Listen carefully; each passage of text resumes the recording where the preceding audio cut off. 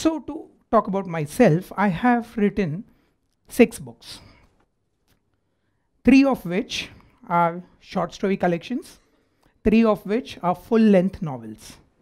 And at least two of these books, two that I know of, are being adapted for screen in various ways. In my interactions with readers, I found out certain things that have worked for them and certain things that have not. And to summarize all those, I made a presentation which I will be talking about today. And that is what it probably is. Nobody knows what, what the art of writing a bestseller is, but we can only talk about experience, and that is what I am going to do. So let us begin. The first point that I would like to talk about is this don't follow best selling trends. If any of you here are aspiring authors, and even if you're not, you will find a connect with this because this talk is designed for readers as well as authors, and all of us are at least readers, I suppose. When I started out, in it was 2014, when I decided to give up my lucrative business. It was a very flourishing business, and I decided to leave it and follow this passion of writing. That's what I wanted to do since a long time, but I had never taken that leap. In 2014, I did that. When my well wishers came to know that, that I am deciding to write, I'm making a switch of this career, the first question that came was, How will you earn? It went on, and when they came to know that my first book is going to be a horror novel, and it will have serial killers and cannibalism, and it will have dark rites and rituals and things like that, then the question became more emphatic. How will you earn? What will you eat? Because that was the time when romance was ruling the roost. When we had every book inspired from popular authors at that time, even now, like we had Chetan Bhagat.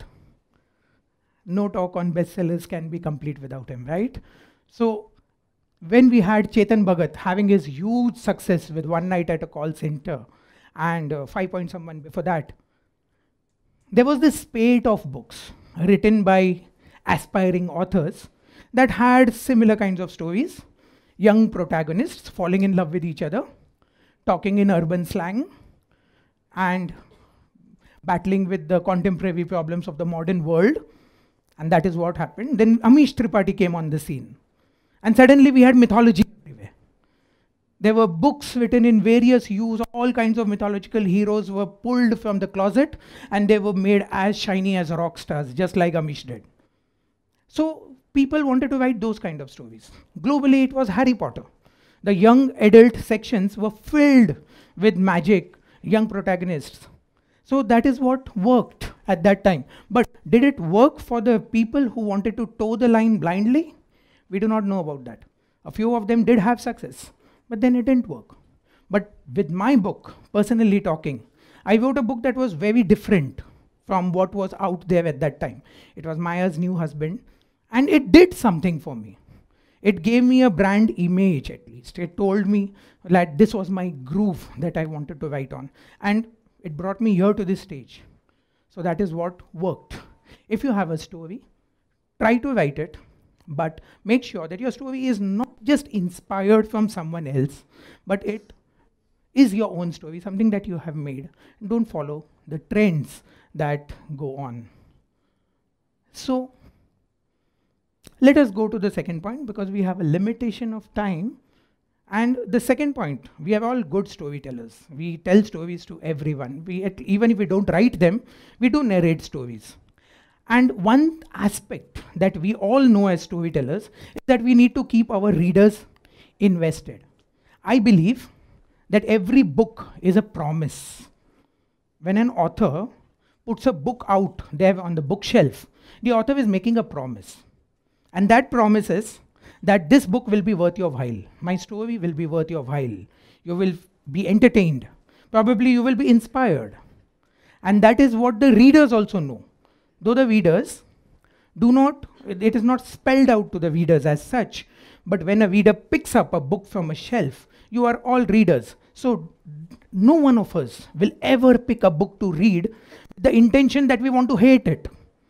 We will always want to like that book. This starts from the first lines itself. When we read the books in the bookstores, in the first lines, we get an idea of what the book is going to be. That is where we decide whether we will buy the book or not. And if that author has sold us those few lines of the book, the author has also sold us the next few chapters. But to keep that kind of writing consistent, the author has to follow a particular path which we call as the log line. Now, those who are in the technical world of storytelling will know what a log line is. A log line is a one line idea on which the entire story stands. Uh, if you're aware of Lord of the Rings, of course you are, then you know that the entire series can be boiled down to a single core idea. And that core idea is of a subhuman creature trying to destroy a highly tempting and dangerous object, and at the same time battling against the forces who are trying to acquire that object. Every scene, every dialogue, every character in that story is towards this end. The story hardly meanders from this one core idea.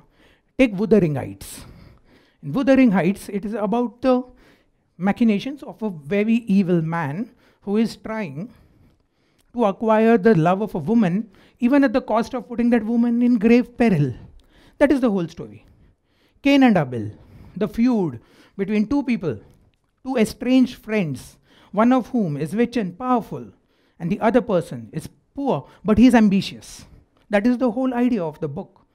Books are written based on this one line idea, this log line. And when the time comes to pitch this book to anyone, whether it be to your readers or maybe to a production house later on, this is the log line that people will be looking at.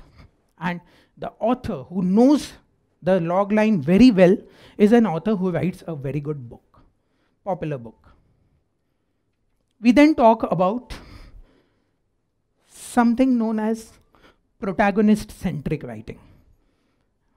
A protagonist is the main character of your book. There may be one main character, there may be two, there may be many, as in Game of Thrones. There were so many protagonists. But the thing is, the entire story is based on this one protagonist. We have always, as readers, we have this very subtle emotion that we want to connect with that protagonist. We want to connect with that main character. Any book that you take when you read about that main character, you want to identify with that character's joys and sorrows. We relate with it. We want to identify with how that character moves ahead, how the character solves the conflicts that comes in the way. And finally, when the character has the last moment of triumph, that is where we feel that we have also triumphed in some way. This is where the inspiration of all good books come from. In fact, the books that you may probably talk about as being your ideal books are books that have inspired you, probably because of the protagonist. And the way that we authors do that is by keeping the story protagonist centric. For us, the protagonist is the epicenter of the story. Here again, let me give the example of Harry Potter. 4,000 page series, long, and the book worked with young adults, people who are considered to be highly distracted. How did it work? Rowling did an intelligent thing there by keeping the story protagonist centric. The entire 4000 page series, barring a few chapters in the book, are all about Harry Potter. It's from the point of view of Harry Potter. It's about what Harry does. It is about what Harry sees. It is about the problems that Harry faces. And right from the first chapter onwards, we are given these nuggets of Harry's life. We see his family, we see his perils, we see what he's facing, the world that he's entering into is all seen through Harry's eyes. And this is protagonist centric writing.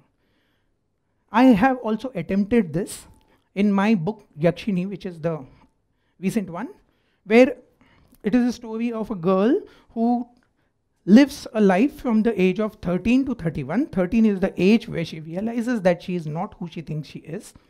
She is growing rapidly, a growth spurt and first chapter is about the conflict that she faces internally because of that. And then we go on to see her family's attitude towards it. Then we see her friends, how they are looking at her differently. And then the male oriented society, which is now eyeing her with evil intentions and the social norms that she is in, everything is radiating outside from her. It's a saga, it's a long book, but it could manage to keep the readers hooked because the story was protagonist centric. This also means that your protagonist has to be a doer. You cannot have a passive protagonist in a story. People won't like to read that.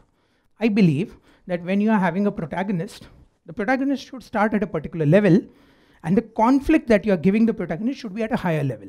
This is what all the stories are about. In the beginning of the story, the protagonist cannot overcome that obstacle. But through the story, through various actions and whatever happens, the protagonist has to level up. The protagonist has to reach that level of conflict, and that is the point of ultimate showdown, which is where the book comes to its climax. It is said that we cannot solve problems by remaining at the same state as we were when the problems arose. We have to improve, we have to go ahead. And that is what is the inspiration when we read about protagonists. Let me go over to the next point and this is a very interesting thing that we all like. Uh, we remember the movie Bahubali, right? So everything, the way that the movie was sold, the second part of the movie was sold, was through a cliffhanger. There, it was a part of the entire marketing strategy of the movie. And this cliffhanger is what we authors usually use in our books to keep our readers invested. I believe that bestsellers are built on anticipation. They have to keep the reader turn the pages, uh, page turners, unputdownable. These are the words that we use when we talk about bestsellers. So, and the way to do it, one of the ways to do it, is to use cliffhangers. We define cliffhangers as points of suspense. That's it. They are points where something is taken to a very high level and left dangling there. The reader now wants to know what happens next. When I use cliffhangers, I keep four things in mind. Number one, the cliffhanger has to happen to the protagonist. Because if it doesn't happen to the protagonist, the readers won't care. Second, the, the cliffhanger has to dramatically increase the stakes of the equation. Something has to happen, which is quite huge in scope. Third, I believe that a cliffhanger should not have a single predictable path. When you use a cliffhanger, there should be multiple possible outcomes. And they should have an equal probability. Because that is where the readers will keep guessing as to what is going to happen next. And the fourth, the cliffhangers should be an end in itself. We call this as a structured end because if we want, we can stop the book at the cliffhanger this is where the chapter gets over, or the scene gets over, or the entire book gets over for this next sequel. And that is what we do. And the readers are sold. So that is how cliffhangers work. Now, the question from some uh, new authors is how many cliffhangers do we use? The thing is, you can use as many as you want. In fact, if you can develop a style where cliffhangers can be used at the end of every scene, then you have a very popular book in your hands. the cliffhangers are also used in different ways, in hooks. If you see some legendary books or even movies, dialogues also follow a hook line. Like everything said by a character is a prompt for the next thing that somebody else says. Now, this is a hook. So it keeps the conversation organic and it keeps us invested in the story. Also, atmosphere can be used as a cliffhanger. Like in a lone room, there is a white curtain, suddenly it begins to flutter or the day suddenly turns dark, or there's a siren of a vehicle coming from somewhere and you cannot see the vehicle. Now, these are the things that are atmospheric cliffhangers. You do not know what is happening, what is going to happen, and the reader wants to know what will happen in the build up of this scene. So, that is what keeps us hooked, even to the movies. And books are nothing about writing visually. That is what I believe. In fact, I believe that writing is not just about plain writing, putting words together. Writing or telling stories, rather, is an art. And it's a performance. It's a performance with words. You have to use the words to create visual images. And that is what we do when we tell stories to youngsters or to friends. We try to include noises and sounds. These are all things to build the anticipation of the story. That is what popular authors do. Next point that I will make is about creating conflicts. Think about it. Every story that you have read, every story, even the stories that you would give me as examples if I were to ask you, are the stories that have a strong conflict in them. All of us have read Alice in Wonderland.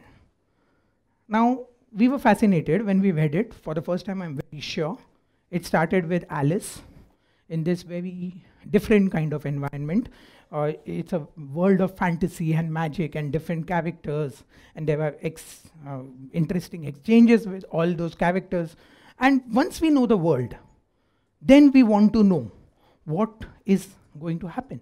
We are introduced to the struggle that exists in that world, the conflict. And the conflict is that Alice is trapped. There is an evil queen. And now Alice has to get out of that world and go back into her own world. Now, this is the conflict. And if that conflict was not there, just if it was a world of fantasy, then it would not have been a story. It would have been just a premise. Our romance stories, Bollywood, or books.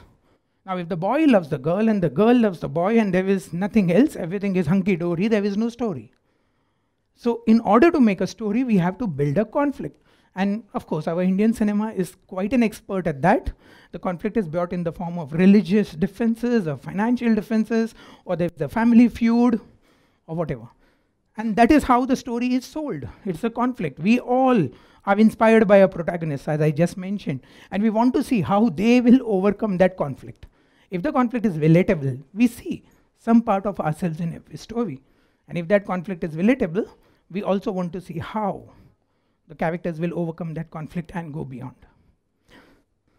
And I come to the last point, which is about over time, all the books that have created some kind of global buzz have been those books that have ruffled some feathers. They have challenged social norms. Let us talk about Shakespeare's plays. Today, compulsory reading in schools and colleges. But in those days, Shakespeare's plays were vulgar. They were considered to be vulgar, rather.